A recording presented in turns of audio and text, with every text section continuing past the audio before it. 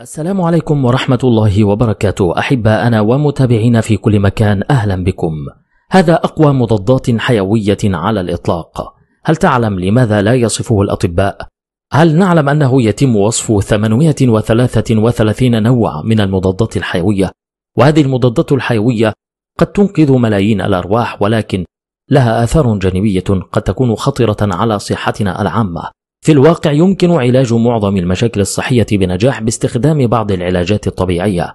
في هذا الفيديو سنكشف لكم عن أقوى مضاد حيوي لن يقتل البكتيريا فقط بل يقي من الأمراض فتابعونا. إنه العسل مع الكركم.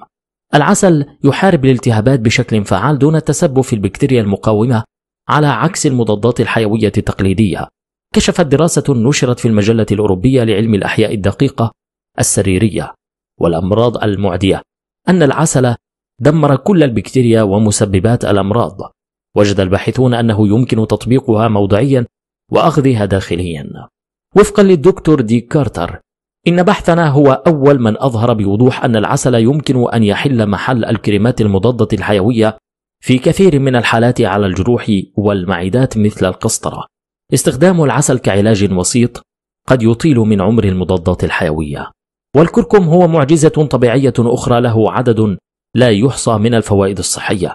أهم مركب به يسمى كركومينيديوس وله خصائص قوية للشفاء ومضادات الأكسدة ومضادة للالتهابات ومطهرة ومضادة للبكتيريا ومضادة للفطريات. مزيج من هذين هو أقوى مضادات حيوية يمكن استخدامها. ومن المعروف أيضا باسم العسل الذهبي وكان يستخدم في الطب القديم لآلاف السنين.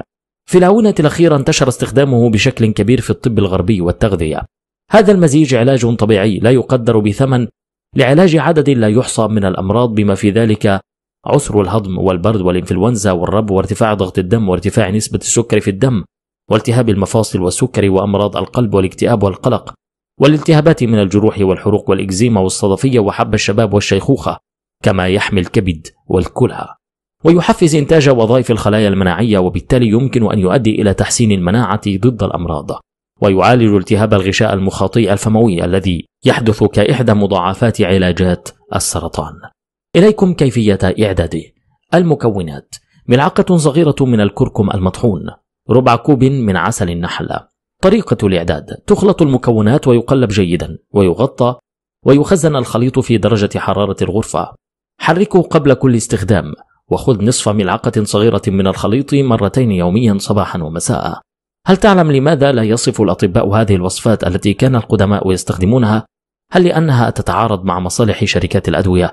أخبرونا بآرائكم في التعليقات ونشكركم على المشاهدة